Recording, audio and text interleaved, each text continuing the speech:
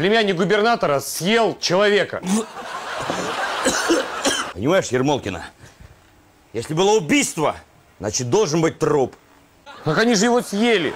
Нет тела, нет дела. У меня есть доказательства. Видеозапись. Им не отвертеться, товарищ майор. Молодец, Ермолкина. Служу России! Что с тобой, Ермолкина? Как рухнула на пол. Ну, где твои доказательства? Сумочки. Здесь пусто. Как, как пусто? Ермолкина, ты что, вещдоки в женской сумочке носишь, что ли? Ты когда-нибудь видела, чтобы я вещдоки в женской сумочке носил? Такое дело провалило. Сейчас из-за твоей халатности никогда не поймаем этого людоеда. Извините, товарищ майор. Уходи отсюда!